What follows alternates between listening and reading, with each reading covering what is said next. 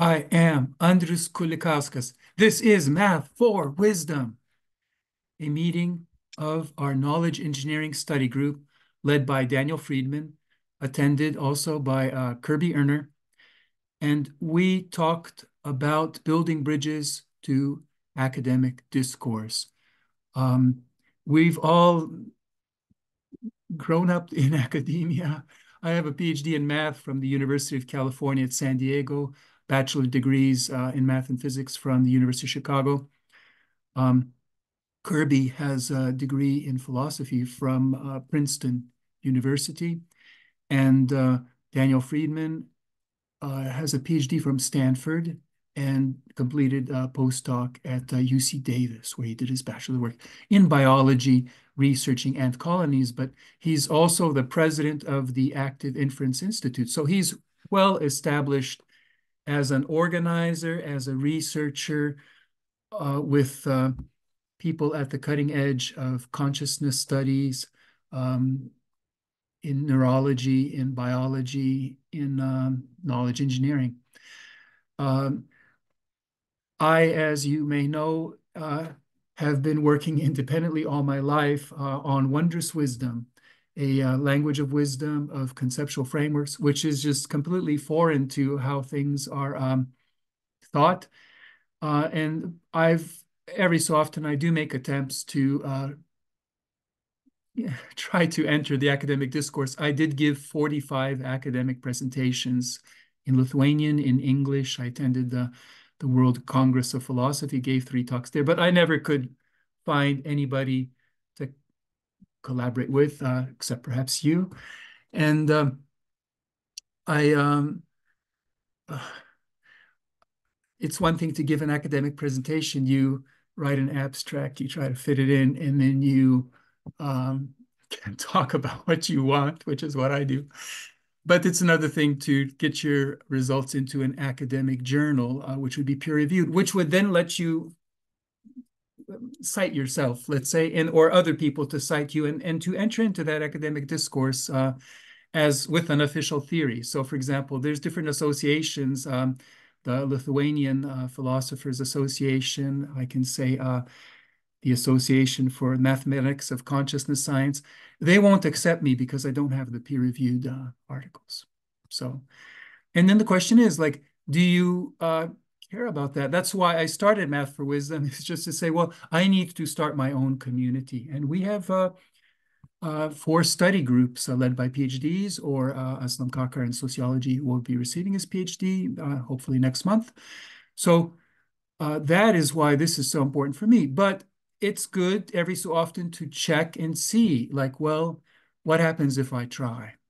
So uh, in this um, meeting, I bring up um, a letter of inquiry that I wanted to write and I sent out uh, just yesterday uh, to the Journal of uh, Consciousness and the Mind Sciences. So this is like the connection between, uh, it's really a philosophical journal, but with regard to how consciousness connects with sciences, empirical sciences like psychology, neurology, cognitive science, and such. And they're very friendly. The special issue is on uh, structuralism and uh, consciousness. And so uh, it's the perfect opportunity. They have a diamond open access. That means it's free for readers, it's free for writers, it's perfect. It's funded by a half million euro grant uh, by the German government. Uh, and the editorial board is people who are at the center of the philosophical discussion of consciousness. So if you look at the description, you'll find the link to uh, my letter of inquiry, how that went. You can see the situation. But uh, so I ask uh, for Daniel, I'm sometimes a little bit frustrated, you know, but ask for Daniel Kirby, like, what can they suggest as I write this letter of inquiry? I'm happy how it came out. And then that also leads to uh, Kirby's uh, interest in uh, Buckminster Fuller and Daniel's interested as well with um, Buckminster Fuller being a visionary who was uh, had an academic position um, at uh, Carbondale uh, in Illinois, uh, but was a popular um, speaker around the world, uh, a, noted uh, inventor and popularizer of technologies. also the author of Synergetics, A Geometry of Thinking. And so Kirby, uh, as a philosopher, uh, just has this uh, passion for wanting uh, Buckminster Fuller to be part of the academic discourse. That's for, so for some reason he sees that maybe this is the, the forum where that could be possible. So, and then what I try to say, and then they're interested to axiomatize um, Buckminster Fuller's approach, possibly like in the language of category theory, uh, just to make it more engageable uh, with the academic community.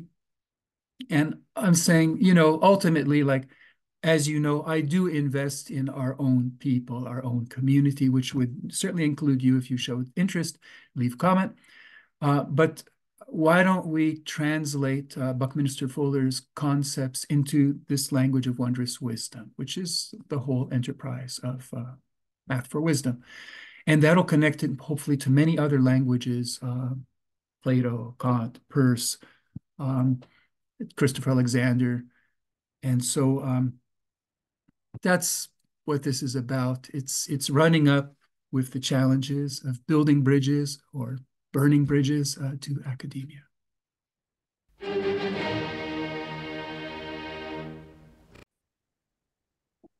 All right, happy 410, fellows.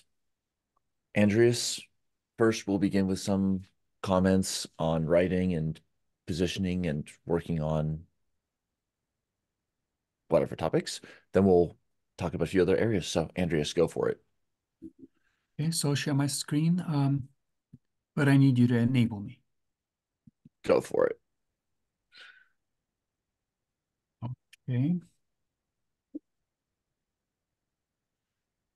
So every so often, it seems uh, meaningful to try to present this philosophy, a wondrous wisdom, in an academic setting. You know, so I've given like 45 academic presentations, but I haven't uh, written papers. And what that means practically means that like the Association for um, Mathematics of Consciousness, they won't accept me as a member. They go, well, when you write, you know, a paper or two, you know, they're peer reviewed, then we'll then come back. So this is simple things like that. So, and it's a good challenge. Now, um, uh, I forget how, but I learned about this uh, journal, Philosophy and the Mind Sciences. Oh, and it looks like uh, my, okay. Philosophy and the Mind Sciences. It's a diamond open access, which means it's free to read, it's uh, free to submit to, you don't have to pay. They got just a half a million euros of support from the German government. So philosophy and the mind sciences means it's a philosophical journal in the kind of philosophical style of discourse. Uh, but the mind sciences would be, let's say, psychology uh, and uh, neuroscience and everything, everything else like that. And so they're looking for philosophical uh, things informed by that. And now the current uh, special issue, if I go to the announcements here, call for papers structuralism in the science of consciousness. Well, so uh, my theory would fall within structuralism, and I have a lot to say about the science of consciousness. I would call my theory the three times eight theory of consciousness because I'm saying that there's three minds and eight uh, mental states. So I think that's a pretty neutral way. And so um, they're accepting what's very nice is that they're accepting that you know i can write a two page letter let's say explain what i'd like to write about and then they'll say you know it's not worth the trouble or they'll be encouraging explain. So um, the problem is is that um, well it's just very difficult for me to fit into this whole philosophical world. So i'm i'm going to write out let's say these 10 different points to what i'm doing. You know i'm going to in the introduction to this letter i'm going to say hey I've given these presentations. Here's like one sample that I gave uh, that I'd like to write a paper on.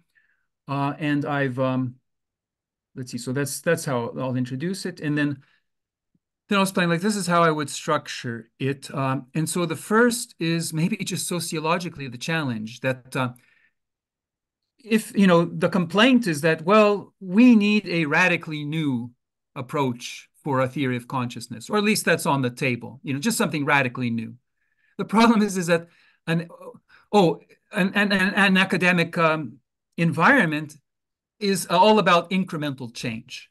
You know, so you look at all the thinkers like Freud and Marx and Kant and, and whoever, but like they did not operate in the academic environment of today, you know, basically all of them, all of these, you know, radical thinkers. Uh, so uh, just this huge limitation. And if you, uh, one more thing I want to say, like in the preamble, I'll mention that uh, I understand and want, you know, the need for dialogue. How can I enter the the problem? How am I going to enter into the academic dialogue? And so I'm going to mention specifically Daniel uh, paper he co-authored about uh, uh, the ant colony as a test for consciousness. Like you have a theory of consciousness, what could you say about an ant colony given that? So this is how I'm trying to uh, engage, let's say, um, with that. But I'm starting out then to say, well, if you allow that, you know, a radical idea is necessary, such a radical idea is not going to be an integral change. It's going to be a whole complex of ideas. It's going to be a whole different way of looking at things. That's a problem, but especially it's a problem if uh, if it's about absolute truth. So to say, look, there have been in my lifetime these taboos against uh, scientific theories of emotion, you know, consciousness, causality, uh, animals having feelings, plants communicating. That's all changed, uh, but uh, still things like wisdom or God, uh, maybe even that's changing, but like absolute truth is just off the border. And so to say that um, an academic environment in principle uh, is stacked against this whole idea of absolute truth. Just to lay that out sociologically. So strategically, um, to say um, what I'm doing is I'm presenting, uh, working with, let's say, I'm presenting an alternative um, approach based on grounds for absolute truth, which means removing personal experience, removing this kind of like conceptual language, um, and seeing how they you know connect underneath. But um, then you have to robustly do that. So it's important that I'm a person with a very robust personal experience, and to try to talk about as if I did not have this, that this was some other people's experience or whatever. That just seems not going to, you know, that's just, I'm going to I'm not going to do I'm going to do this. I'm trying to say. So I do talk about like my personal background, my personal history. Where did I get to, you know, what's the approach that I did? Where did I get to where I went? Then intuitively, like a reconsideration that introspection is something highly critiqued, um, you know, at a certain point historically. Uh, it's not even maybe so clear. Well, it may, mostly because it's not replicable in a certain way. So then I want to say, well, I want to talk about a very particular type of introspection of the available perspectives that I can take in a given frame of mind uh, without changing context. And it's really about relating the part and the whole in a certain way and intuitively feeling that. So then I describe basically these divisions of everything and three operations on them, which you know add one or two or three perspectives, which become like these three minds that I'm talking about that will define consciousness. And then culturally, I say, well, okay, what could be the evidence for that? Well, first of all, to say, here's dozens and dozens of examples, and I don't think I would go through them, I just list tables of examples where I align them to say, this is where they come up. Then to say mathematically, and so this is kind of like a research program that I'm outlining. You know, I'm not saying that I figured it out. I'm just saying this is a research program to work in this way. Mathematically, to give examples in advanced mathematics uh, where this cultural thing is coming up. Maybe before the math, I might just say neurologically, uh, not maybe scientifically, but like in the cultural sense of neurologically. So like these uh, distinctions made between left brain and right brain, and just the whole, you know, I would give like my interpretation of the brain, but uh, that neurologically, from a cultural point of view, mathematically, then epistemologically, say, I have this procedure where like I systemize the ways of figuring things out, and it leads to 24 ways of figuring things out, which demonstrate like how these three minds are working together. And then academically, in conclusion, like to say, okay, applying it to the ant colony, these are the types of results you get. You get a mind that's um, uh, out in the world, you know, organizing these streams of ants, let's say, you based on just how they're wired for rates of change. You have a semiotic world deep inside, which is uh, clean of all kinds of fungi and whatever, but it's just uh, based on uh, language of smells uh, that uh, they're greasing onto each other, let's say, up and down. And then you have a hypothetical third mind, which would be whoever's maintaining the ant colony, and that'd be the nest maintainers. I mean, the actual physical architecture, the, the nest maintainers, they have all the tools available to downplay the queen, upplay, you know, the queen and her consort, upplay them, that mind. downplay whatever you know they may be working with these scouts uh, they may be working with the nurses but basically that would be the layer of overlap where i would expect there to be consciousness so that's just a saying like that's an attempt to um, maybe the last thing would be uh, kevin mitchell has this interesting article on um, eight layers of free of agency so i would try to uh, see if that could relate to those eight minds so i'll be working on that so that's and so basically when i write this i'm just going to say this is the way I would naturally try to introduce my theory. Which of these, you know, I would just do a general overview. I think it's up to like from eight to 20 pages is the typical article length. So of course, this would have to be quite brief. But I think that the best way is just to present it as a research program for, uh, you know, in kind of more like a, a sharing a personal experience of like, you know, what is this like? Um, as opposed but you know if they think i should instead focus on any one of these then they could say like which ones to downplay or upplay. So that's what i'm intending to write. What do you guys think? I'm looking at the archives right now and i'm just i haven't clicked on anything yet mm-hmm. for philosophy mind science i'm just wondering have you since the back issues apparently are available have you checked the previous issues to see what kind of article they are accepting? Yeah, so um, I think um, I, I just started doing that, and that's a very uh, wise and important thing to do. Um, and it just seems, it really does seem like a philosophical journal, you see. So they're not giving like, uh, you know, it's not an empirical journal, let's say. Like, and so when philosophical, they have the whole, um, uh, the style is basically like here is a, it's an argument style. It's, it's, it's proceeding by arguing. So like here is a thesis. It is accepted by certain people. Here is another thesis. It is accepted by another group of people. Here is the uh, evidence, you know, here are arguments for and against. This is the history of the whole argument. Here are some insights or observations.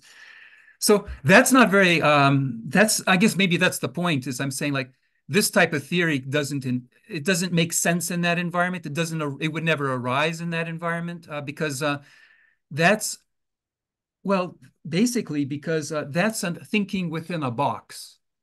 I see. mean, another thing I would check is how many footnotes on average they seem to expect to other people's writing. If it's all self-referential with just a link to Daniel's ant paper, is that way out of the norm or is that kind of well i know i have no problem introducing footnotes you see or like writing you know i mean i'm going to be dozens and dozens and dozens of examples I mean, but that's not, not the your stuff right no not to my stuff i'm saying to other people's stuff you know like so there's no there's a wealth it's just a waste of time i mean in a certain sense it's a i mean it's a waste of time to do too many of those and it's a waste of time to do too few because you want to be right. accepted so what i'm saying is try to imitate the style that they seem to prefer. Maybe it's very clicky. I have no idea. I don't know anything about this magazine, but you know. Well, I think it's an it's an impressive click. So uh, and it includes people that Daniel's or or no, it includes like for example the one of the uh, editors in chief is uh, Wiese,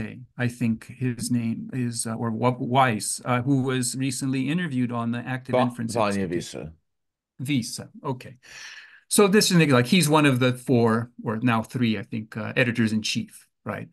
But not so, for this special issue. But um, but anyways. Uh, so given that, I would say you're in the right place because active inference seems to permeate both this magazine. You're saying, and here's Daniel, and here's and so on. That reminded me, I'm mm-hmm. down the road some point need to understand better the concept of surprise in the active inference paradigm. Like there's a lot to say on that, I know, and I want to hear from Daniel about it and stuff. Daniel, have you have any thoughts on this whole thing or or not? Uh... Yep. Because synergy and synergetics. I'm not about surprise. I'm saying about the about my. Uh... Well, yeah, let's come to surprise in a second. Yeah, first let's continue here. All right, here's what I um was just writing down. Mm-hmm. Um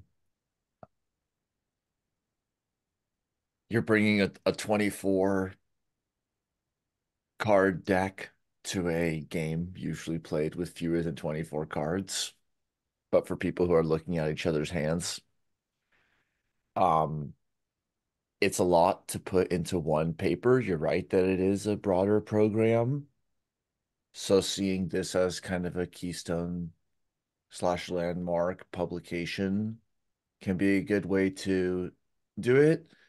There's no way to have one linear artifact be like all the rhetoric, all the footnotes, all the quote rigor, accessibility, etc. for all people all time. So it's like it really that's those are the um, you know, critics slash reviewers slash audience slash etc. And so amidst all of these kind of cultural things which you're very aware of and experienced in also the best artifact in deep time and what a good editorial slash reviewer slash journal would uh scaffold is like your truest contribution.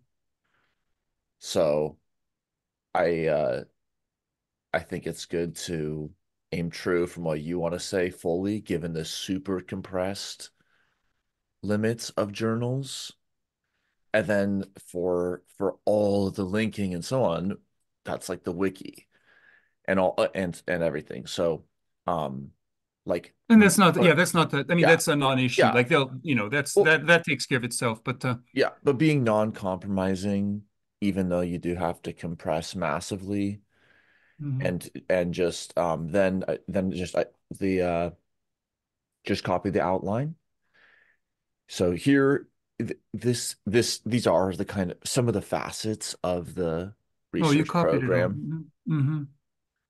it, it just copied out the first word. Yeah. I, philosophy papers, you're right. They are more open in format than like an empirical paper, which would be like, you know, introduction, methods, results, discussion. Right. Philosophy papers, some there's just section one, section two, section three. Some there's, you know, less. Or or so it's basically open, so there's no format that they they require likely. But but then Kirby got to the brass tacks. It like if it's um one and a half space times New Roman eleven, that that is helpful to know. Um yeah, so they they I yeah, mean they yeah. that's all that's all available. And, so that's and, not a problem. And, right. And also there's this kind of like fun slash play of journals at all when also using sites like Zenodo. Um, you can upload any file and also get a DOI with no, uh, it can just be a slideshow. So this is as citable as anything. And, and so in the broader scheme, be just downloading websites and uploading them to Zenodo or cross posting with Zenodo, with GitHub snapshots and Zenodo mm -hmm. or, or, other uh, DeSci pipeline. Zenodo's like ORCID, is that right, Jaron? Um, ORCID is in a unique identifier for each like researcher, but mm. Zenodo is a preprint quote server. Okay. But for arXiv, you need to know somebody, you need to be endorsed in, and there has to be the LaTeX formatting. Whereas for Zenodo, you can upload like gigabytes of data. So it allows you to upload, and you can also mm. connect it to your GitHub so that when you do a release on a GitHub, it um, saves it, stores it in Zenodo, gives it a DOI, then you can put that DOI back into the GitHub, like README. That mm-hmm. makes the GitHub repo versionable and citable and archived like at CERN. So that would be pretty cool to set up for some repos just to explore. Well, I think maybe maybe just practically speaking, like if I run into length problems or you know exposition problems or whatever like i can offload you know i can write a preprint you know an article or or whatever and upload it you know to arXiv or to or, or you know to wherever like you know so um that's um that's just a workaround um in case you know anyway so understood yeah. but what in terms of the um see maybe it's it must be said like you know one of the motivations for this probably was your arrival to our group, you see, because uh, knowing that, uh, uh, oh, well, like with anybody who would want to work with me, I would say, okay, what could we work on? I think we spent some of the initial sessions on that. And then to say, okay, you're into ant colonies, you wrote this paper, I could respond to that paper. I could write a paper responding to the paper. This is a good time to write a paper. Like, would that be meaningful, you see? So I did quite a lot in that direction uh, because of you, really, because, you know, So to say uh, and to show that, well, I'm I'm interested to work together, right? So I have uh, five months where I can do what I want to do, and probably like if I got permission to write this paper, then I'd probably be focused on that. I could possibly like I could easily go to Warsaw for the semiotics uh, uh, conference, uh, world conference. They have them every few years. That not be too expensive. It'd probably under 500 euros. But like, for example, I wrote to the Peirce group yesterday and nobody replied, you see. So, and I've been to those kind of congresses. I was at the last one. It was actually in Lithuania, the World Conference. And, you know, what's the point? Like, I can be there. No one wants to really interact in a deep way, the way that we do, you know, here. So that's just uh, being old enough to realize, like, um, it's not about any of this eggnogging. It's just like, is there a single person in the world who wants to have a deep uh, relationship? Here's the question. You just said, if I get permission to write this paper, I was wondering what your plan was. Are you going to submit a completed, here's my paper, take it or leave it? Or are you going to send them a bunch of writing and say, should I make this into a paper? Is it worth it? So, the, so what they what they suggest, what they offer, they say, you know, um, uh, the rules are that you know you can submit your paper up to August 15th, right? Which is typical. But you, if you like, write us. We'll tell you, you know, we'll give you, you know, we'll give you feedback on how we see this fitting or not. You can do an inquiry. Oh, that sounds worth doing. Yeah. Yeah. See, so I'm, I've been spending like a month or two preparing this, basically, like so. This whole ant colony thing kind of like converged with this. So if they say no, then I stop the ant call. I mean, I've already stopped the ant colony research. You know, I got I got as far as I needed for this purpose of this uh, letter of inquiry. I say I think I have an idea of what the three minds would be for an ant colony. That's good enough, right? So I can write a couple sentences about that. But um, then it's like, um, yeah. So I want to get this out and get the rejection as soon as possible, so I could move on. I think maybe that's what I'm doing. But if they accept it, if they're encouraging, it's a big deal then they, that doesn't mean they'll accept the paper, but it does mean that they think it's worthwhile. Did you want anyone to read the paper before you submit it, such as Daniel? Well, I'm asking for some attention now. That's why I wrote the context, right? Like you're three steps ahead, Kirby. I am three steps ahead, and it's the worst. Yeah, but we're we're talking about step one right now. See? You can't you can't talk about step three. It's secret. Well, I'm asking. I'm not gonna. How can I say? I'm. How can I say? Um it's easy if they accept and they want this paper. Daniel, I hope you'll. it's irrelevant, Kirby, because uh, if they reject, it's irrelevant. It'll be relevant when we get to step three. That's how. I mean, I, what I'm trying to say is that I'm asking for feedback on this outline right now. Okay. We don't know what what will happen after right. even just deciding about the outline. So that's of a good focus. Of course. Well, I think maybe one yeah. want to say like like yeah. Daniel, uh, just get, just to be real, like Daniel took the outline, put it on the web, you know, organized it, whatever. That's all fine, but that's all optional. You know, really, the real world relationship is about, will you tell me what you think about this argument? Do you see? It doesn't matter what you do with knowledge if you I mean, don't do anything with is, the knowledge. Does this guy, Andrius Kulikauskas, like people to read his papers before he submits them or not? That's all I care. Yes or no? The answer was yes. Okay. Yes. Um, okay. Let let's continuing a little on, but a few interesting pieces. Like one part that you emphasized now and here was like your personal approach. Mm-hmm. And I think that's that's like kind of a very fascinating and important question. Like, what's the part that's transferable? What's the part that's personal? Um, and then it reminds me of an early kind of moment in my active journey with this Wired mm-hmm. article 2018. And it was like to understand it, free energy principle, it's Carl Friston's apostrophe S, free energy principle, bringing last names into it. And to understand it, you need to peer inside the mind of Friston himself. Now, earlier in that year, in the interview with Carl and Martin Fortier, who passed away, we kind of had asked him some questions, and then he self provided the the supplemental piece that am I autistic personal reflection on his childhood. So it's like on one hand, earlier in the year, we had just had this sharing of what his mind himself was, of course, not the whole thing, just those pieces. But already this idea was being positioned as being something that needed to be entered through a persona lens. It's Mhm. belonging to a person and you have to understand it. But we don't need to understand Darwin's mind to understand natural selection. Now that's super fascinating and like the versioning of his work and the context of evolution and the beagle and all that. There's a Well, but but but but you don't need to understand what Darwin thought about a given thing to but but the, but the but but speaking to yeah, and speaking to what I was saying, like Darwin could not have been published in an academic uh, environment, whether philosophy. I mean, today, I mean, like in that stricture, like you can be Darwin, you can be Marx, you can be Freud, you can be anybody. It's just not happening. It doesn't happen. You don't get these radical leaps uh, in academic world. That's at least that's what that would be the the positioning I would say. So eh, sociological and then um, Yeah, those steps that seemed you know I, I would work further on that, but yeah. That And then- seems that seems reasonable I think right or It- to It I brings in by department. it brings in many continents of scope.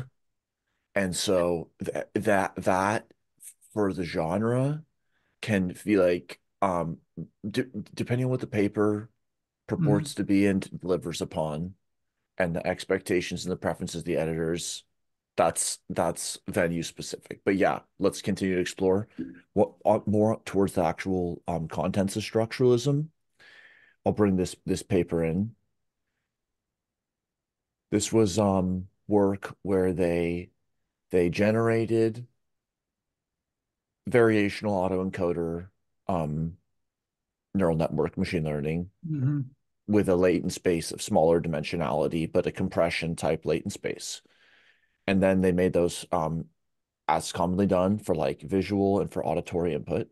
And then they developed second level representations that um descri- that described properties of those networks. And they are using category theory to explore the structural similarities and differences between like the invariances of auditory and visual inputs based upon their symmetries and how just from looking at the topology of a neural network you could determine like whether it was trained on neur- on auditory data or visual data because the the data have different structures for the sensory modalities. So they their optimal like processing architecture slash um what kind of topologies they have are different. And I I think uh I, I it, it not mentioned here but we can take that in many ways towards um in invar invariances in the structure of higher order mental representations. Hashtag synergetics geometry of thinking. Like if you get from let's just say sound has a certain signature at the first primary processing level and um visual. But then once you get to the word level representation if it goes four four four four four four four then that's empirical evidence for a minimal tetrahedral meta representation. Or if it's found that there's a cycling or a, a, a triune coexistence of three or when there's a directional move from the twosome one way. right. And then you could say, okay, here's the category or type or scheme for all of such transitions. Here we're going to be looking at just the ballerina visual illusion. We already have a data set, simpler model, explained more variance. Here's a unique Mhm. prediction. Here's a unique explanation. Here's the fMRI data. Here's the next study to fund. All those are part of like the research program. But just taking that one kind of structural approach to a very sub problem because it does get down in the weeds with the empirical, which is what people kind of broadly associate with the scientific endeavor.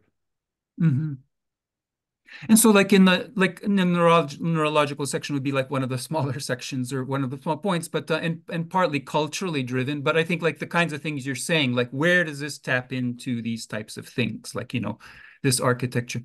We could um so I just wanted to I'm really glad we could talk about this and that you could give some initial feedback. And so anything if you write letters or if, if there's places I could find, you know, your uh um you, you know your input, etc. Um but maybe this can segue into what you wanted to talk about, like yeah. on axiomatization of uh, synergetics, just in the sense that uh, there's similar obstacles, there's similar questions and issues, you know. Yeah. So I, for this topic, um, on more on the applied side, like just trying trying to learn category theory by doing and bring in some mm -hmm. of these higher ideas into developing like modular packages for synergetics with Kirby? Like, mm-hmm. how can we bring in certain category theory structures or like comments in the code so we can understand like okay when can we flip out or how and when can we flip out ivm for xyz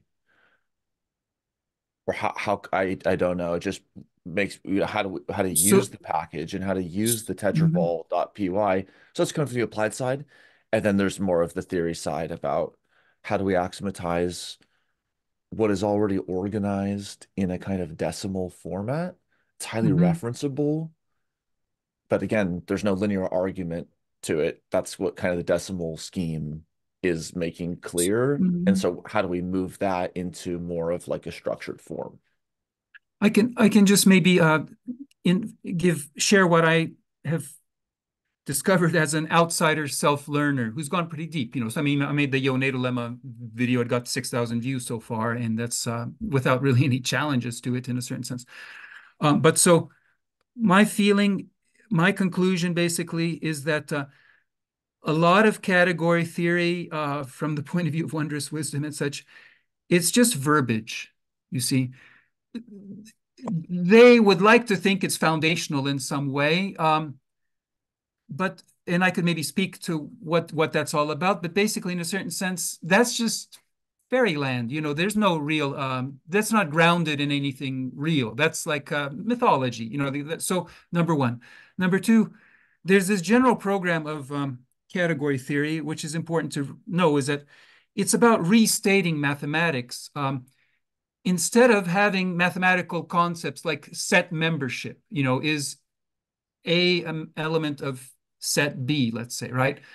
They're saying, well, that's specific to sets. Can we re-express that in a language which uh, doesn't have to do with the objects or with such conceptual relationships, but can be strictly in terms of external relationships of the kind that you get in category theory, like you have these um, mappings, let's say, these arrows. And so the arrows have uh, very important but um, uh, constraints, but like there's got to have an identity arrow. You have to have composition, you know, well defined, but you also have to have it associative. And once you have that, it turns out it locks in a lot of things. So you can have a category of groups, but then you'll have like a category of group homomorphisms that preserve group structure. The point being that you can re redefine, um, not redefine, but re-express set membership as a fact about certain types of relationships. And so you can let go of the whole language of set theory or any, you know, group theory or whatever, and you can retranslate it all into external relationships and facts about them. Okay, so that's interesting translating project, but what does it yield? On the one hand, it just yields lots of verbiage, okay? And the verbiage, eh, it's very repulsive in a certain sense, you know, for someone who's trying to master ideas because but there are two things in category theory that really do run deep in terms of like cognitive thinking, like cognitive reality. So one would be this Yoneda lemma, and I made a video about how it relates to this foursome, whether, what, how, why. That's basically the fundamental theorem of category theory. The other one is what you showed the video on is uh, adjunctions. So adjunctions are like analogies. And so if you wanted to like, what are the analogies in mathematics?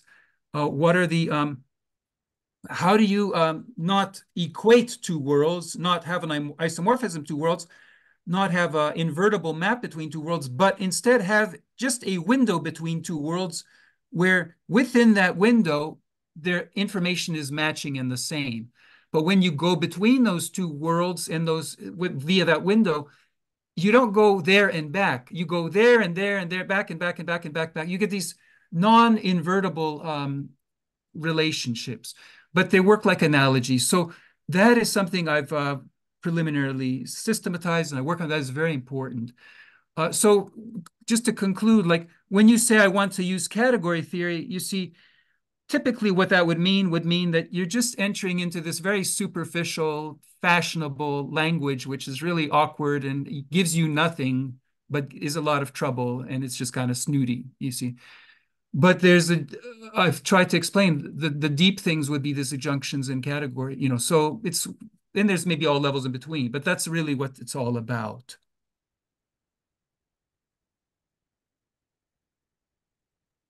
I concur with a lot of what Andrius says.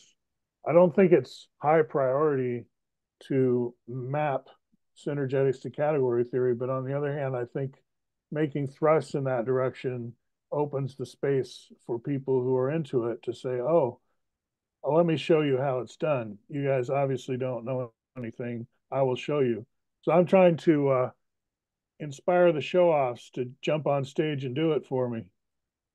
I'll watch and I'll clap. Well, well, you see, what can be done, you know, at least I claim can be done, but um, is to say um, synergetics can be mapped into wondrous wisdom. That's the whole point. And so I give a simple example of that. You know, I mean, I've already just turn any page and you can, you know, it, it can be decoded.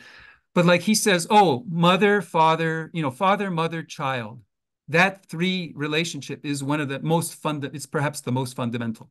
He doesn't explain, right? so, but see, I can I can explain it. You know, it's the the first mind, second mind, third mind. You know, so the mother would be the unconscious, the father would be the conscious. These are typical gender stereotypes, but the child in becoming having consciousness has to play off those two minds. See, that's a very simple explanation. He doesn't give one at all.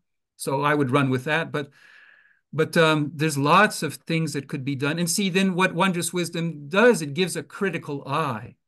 It just immediately shows like, there's holes in his buckets or not, you know, or they carry water. Do they carry water or do they not? You know, and of course, vice versa. It's a test of wondrous wisdom.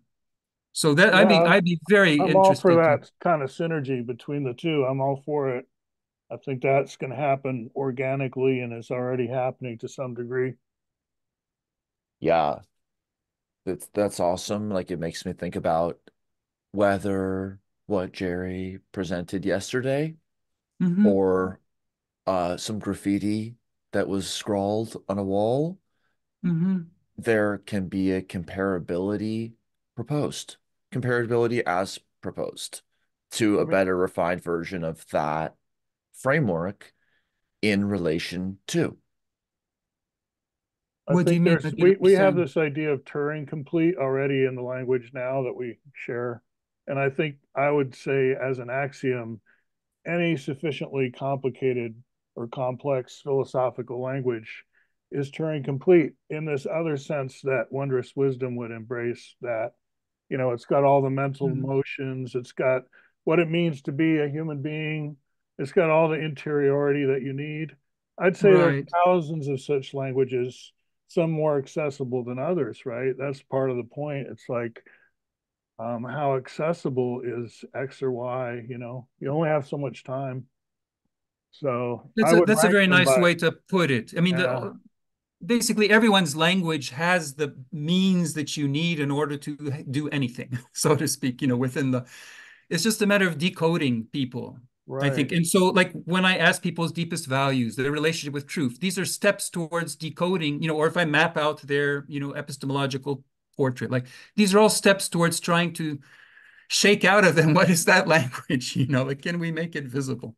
I mean, my yeah. just to be quick on the axiomatization thing, I have to admit I have a bias against it because my mode is to rescue synergetics and bring it back into the humanities and stop mm-hmm. letting these math, physics, STEM people, the STEMites, mess it up because they don't get it. They don't know how to read. They've been deliberately schooled to not think metaphorically. So it's kind of like what are the axioms of Finnegans Wake? Phonemes, I guess. It's Phoenician. Yeah.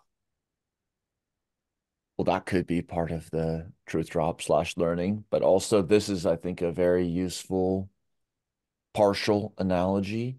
Like if to the extent it's even useful slash true, because it's like, well, how could this person have walked around with this three sum and this with this when they're not overlapping? It's like because they're maps of a territory. Common territory for the cognitive maps. Maps can be made of totally non-overlapping materials, to represent totally non-overlapping scales, territories, etc. Those are comparable in a cartography space, but but there's all these fallacious, like blatantly fallacious topics, like how is this map um you know better or worse than this territory which is like yeah. a type error contained within a value judgment. So it becomes a, a, a, at least in the short term an irresolvable framing but there's other less blatantly incorrect ways to set it up. And then the other thing it made me think of was like someone says okay you know this is like a b and c. Like there's like three things about this and then it's like that is the taking a stand with relation to all the lists that you know they could have just said A and B, they could have said CBA, they could have mm-hmm. said A B C D. Mm-hmm. And then it's like, so then what's the accuracy minus complexity? Like what would be the Bayes optimum number of parameters to list? Or maybe you listed only mm-hmm. four because of rhetorical value, or you did only two because that's how long you had to speak. It's like then you could talk about the constraints in a space of that. And then, but even pulling back to that level has already abstracted like the disciplines entirely away.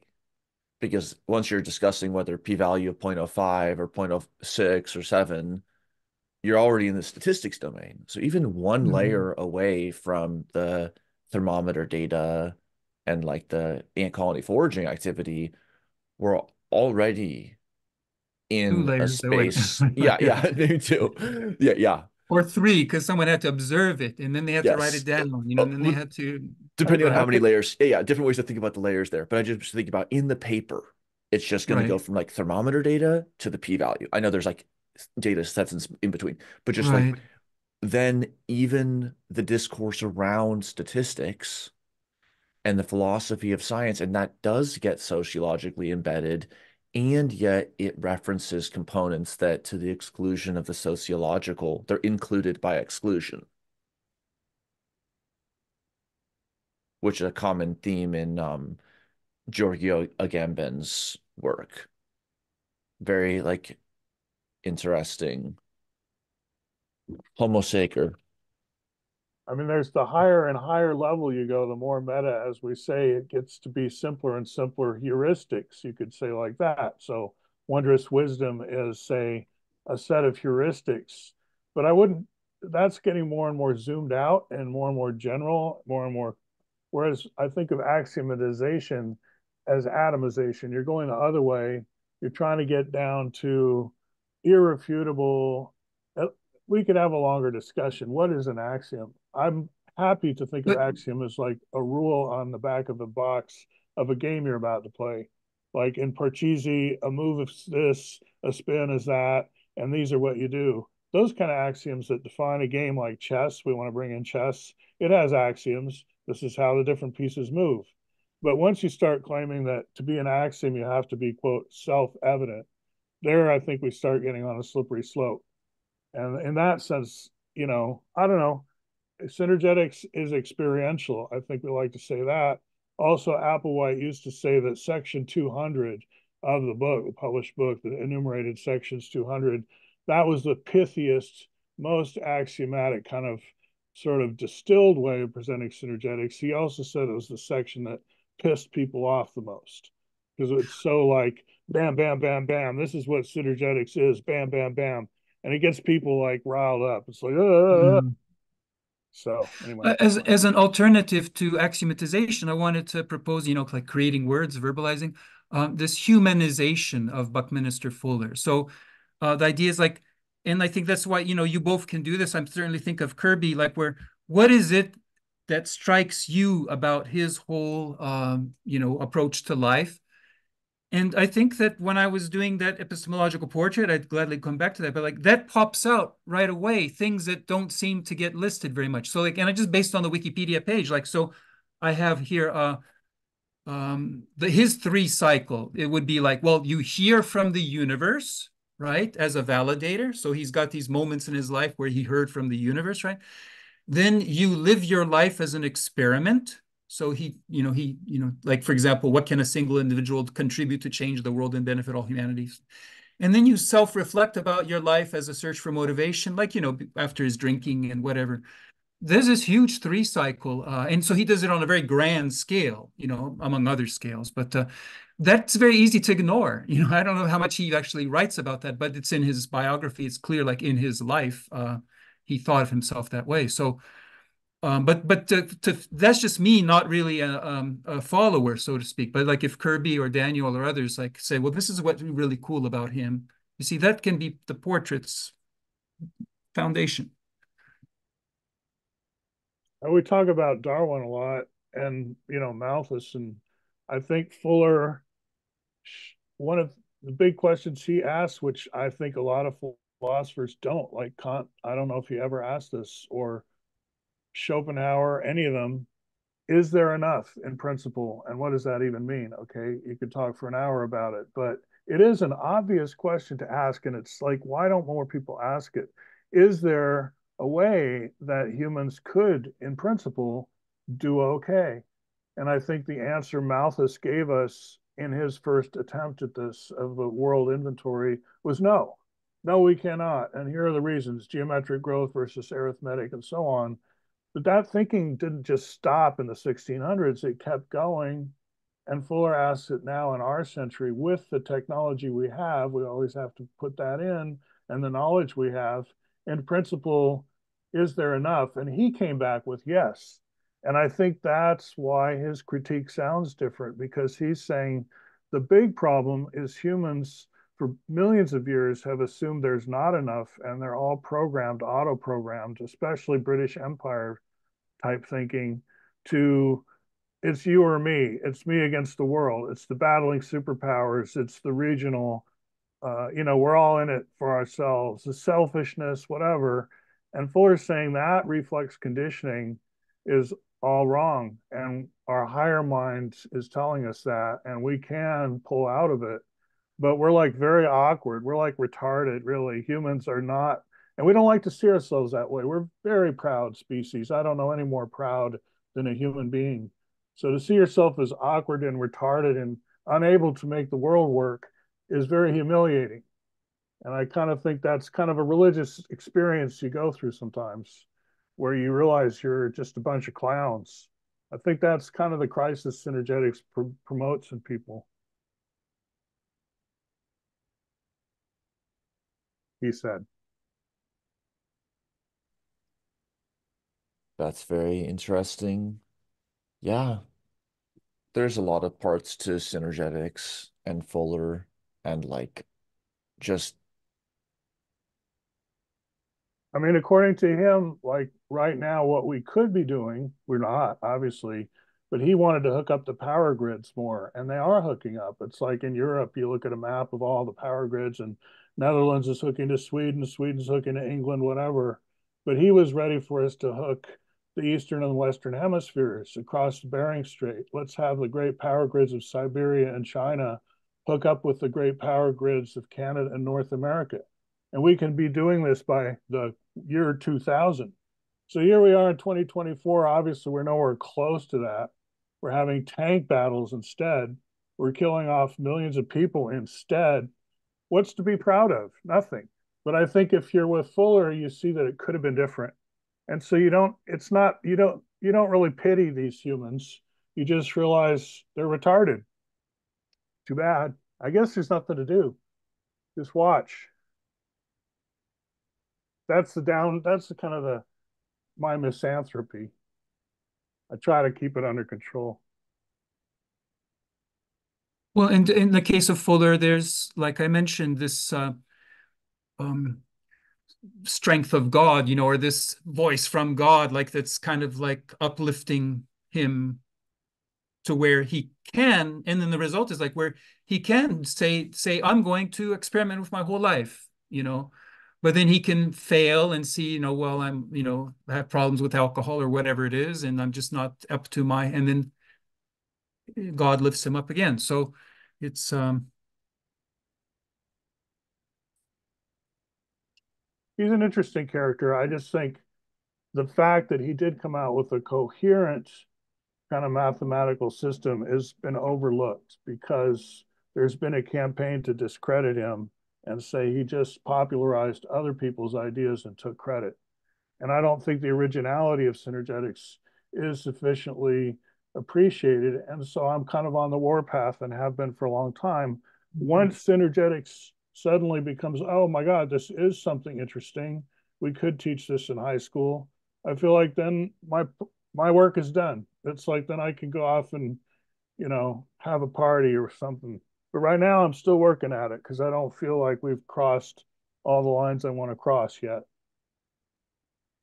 Yeah, this really strikes me as I think you may have used the words, um, something like Andrius, scientific endeavor stacked against the notion of absolute truth.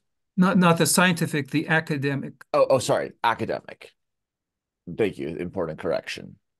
Because um, uh, it um, you know, it, that's the sociological and the, the theoretical, which are kind of co-occurring, just like mm-hmm. like mind and brain, um, mind and body. And so it's like, well, why four? It's like, well, there's a whole section on the rhetoric of the TET, and there's all these reasons, and the volume, and the IVM, and the vector equilibrium, minimum system, et cetera, et cetera, et cetera, because three would be too few and five would be too many. It's like da da da da, but you could choose any. There's a category for that, but four is the one for this reason. Here's the IVM XYZ package. It's like, okay, but you're saying it could be five.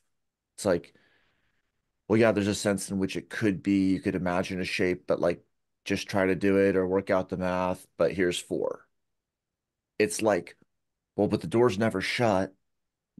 And so it's like there is like a recalcitrance and then an, a, another shadow or one part is light, one's the dark of each other of like, well, publishing for novelty. So it's like you can publish quote new results, but then there's this, oh, well, we do, we don't, we don't re go to old experiments, even if we're not sure mm-hmm. about them. So it's like, why? Because a new result, something that shows a difference, is different and publishable and reportable in a in a news media. And so then you have a unknown unknown thumb on the scale towards simply different and all of the cognitive biases that that supports and induces in tandem with a sort of like fractal mafioso paradigm and so it's like there's so, it's so complex that like how it gets sublimated down to the last frontline worker the whole apparatus and like sometimes seemingly the kind of Kafka-esque metaphysics that like a worker embodies thoughtlessly yet for decades.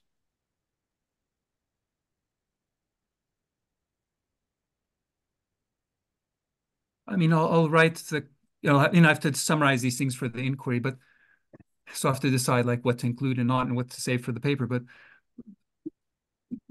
one thing being like any type of radically new way of looking at things is not going to be one idea. You know, it's going to be a complex of ideas.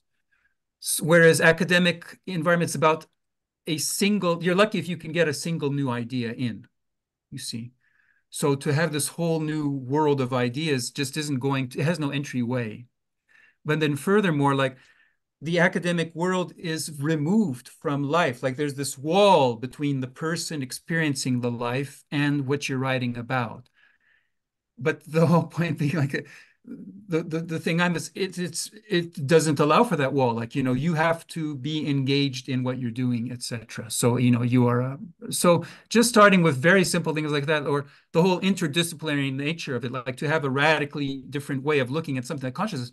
you have to look at all aspects of life. You know, you have to be able to argue it on all levels of uh, science, right? So that doesn't fit in any single domain, and it doesn't really fit in a, into a meeting ground of a few domains. It's just uh, way out of way out of line. So, no, it's it's that's amazing, and it it makes me think. Well, bundle of experience, which is mm -hmm. actually just simply the phrasing that brings many people in to Fuller including like mm-hmm. in our trim tab right. colleagues like people love this idea of like fuller as a bundle of experience everyone is a bundle of experience and then the life is the the container by which you can co-enter because they all the the person is a complex co-occurrence and then this just really made me think about like ivory tower all this and then it's like are we like just plastering the inside walls with what we're like supposed to be studying totally disconnected? Do we have like a window? We're like looking at it, or are we all? But we have to go out and do the field work because if there's if the wall is perforated, there's no room. But since mm-hmm. the wall can't be perforated, or some can't, then you have to make the person go out. Mm-hmm. So there, that's that's I think very interesting, important, and then also just to surprise. I'm I'm I'm fine to say for a while if you guys are, but mm-hmm. um, here's one. Oh, here's with the active this, inference. This right? was like, mm-hmm. yeah, but presentation. This is one I think excellent, just work that is in a mathematical cul-de-sac unless it gets connected up and out they they um may, identified 18 mathematical forms. Oh, wow. So maybe axiomatization might even be too strong. This is kind of in, in a sense, this is the the the the Jerry research path. So what is surprise? Take a constructivist, multi-notational approach to how how is it a surprise being used? How can we care and then make units of of meaning notationally to generalize other over uh, other um, over other notations, and then um this provides like the bottom up and the lateral glue that increasingly can be translated so we could support like making better programs about surprise, whatever it is, holding multiple surprise concepts up, making a surprise package where you could like easily call these functions. Is this so it's, uh, it's open linked? Um, uh, it is. Uh, it's here in in the notes for the day. Okay, the link to what you're talking about is right there. Yeah, taxonomy surprise definitions. Is um, oh, it's a YouTube. Okay, got it. Uh, and a paper here, and the paper too. Oh, okay, great. So it doesn't answer which surprise concept to use. Um, but it's the kind of like, or sometimes we joke about this type of thing as like the I saw a bird phase of natural history, like a nature mm-hmm. publication used to be like, I was here and I saw this. Mm-hmm. It was like and then the whole then there becomes a, a massive apparatus but early on there's sort of it's just like documenting and mm-hmm. categorizing and and um creating comparabilities draft comparabilities is is critical enabling necessary but not sufficient work mm-hmm. because the the bottom up is necessary and the mind is necessary and that's a hard that, that's a hard a hard um point to bring in to work where like this is the pinnacle of bottom up not not the infinite pinnacle i mean local maxima of incredible rigorous you know bringing together decades of work with just three colleagues' efforts to to to mm-hmm. actually move things forward in this very unique way and and that whole workflow that I uh, set up for collecting conceptual structures or cognitive frameworks, however you call it, is very much in that spirit. Like you know, you somebody finds something, they have a place to dump it, then somebody else can go and they can curate it. Then somebody else maybe can actually put it nicely in a table, you know, of a general purpose table. Then somebody may curate it um, in a, in the particular school of thought that they that they care about, like wondrous wisdom, let's say system. So there could be they could having sharing. So that should be collaborative. And and I wrote to the Peirce group, and they just didn't even respond. You know, like I was so happy to find this thriving group, uh, but uh, and anyways. Yeah, wow. Some some groups respond slowly. Well, I think it was very telling. Uh, ben Udell, I I think I maybe said this yesterday, but like I found the trichotomies page, you know, oh, I figured, you know, someone's work to make this list. So we go to the history page. I found, uh, he calls himself the tetrast. Uh, his name is Ben Udell. He's a founder of that Peirce uh, discussion group. And it turns out he really doesn't relate to Peirce because he's into foursomes but um, Peirce was into three sums, you see. But he was hoping at least they're not into two sums, you know. But they're not into four sums either. So it just felt very lonely, you know.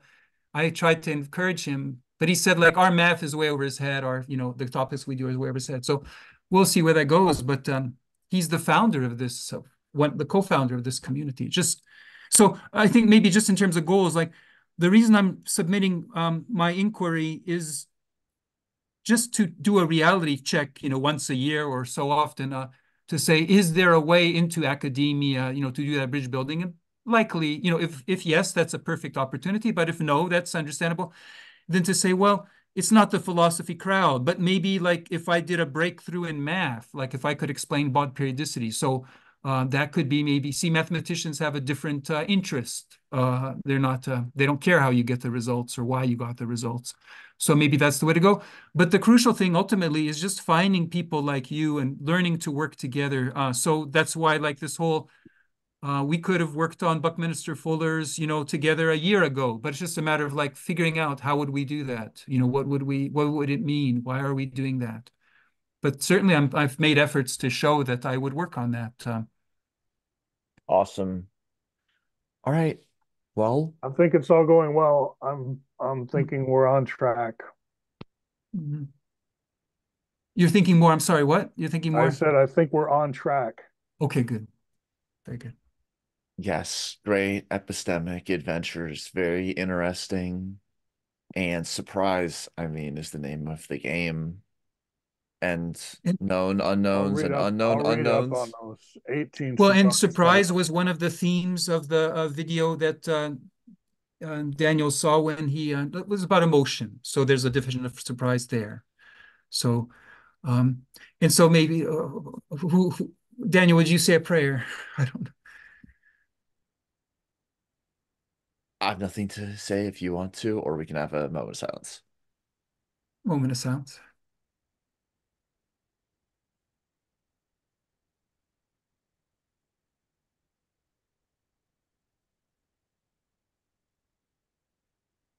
Okay. Thank you, fellows. Farewell. Next time. Bye. Thank you for watching this video. Please uh, go to math4wisdom.com or simply read the description to this video to learn how you can join our Math for Wisdom discussion group and our study groups. Thank you for liking this video, for subscribing to this YouTube channel, and for supporting Math for Wisdom through Patreon. I'm a Patreon supporter for Math for Wisdom because Andrius and I have been friends for a long time, most of our lives. And the conversations I've had with him over the years have been very useful for me. Uh, and he's also a big, big fan, my supporter, you know, of my work.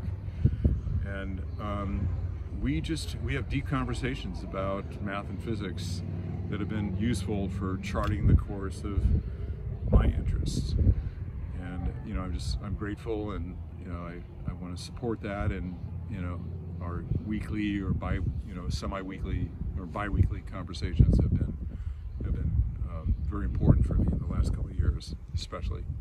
So yeah that's why i'm a supporter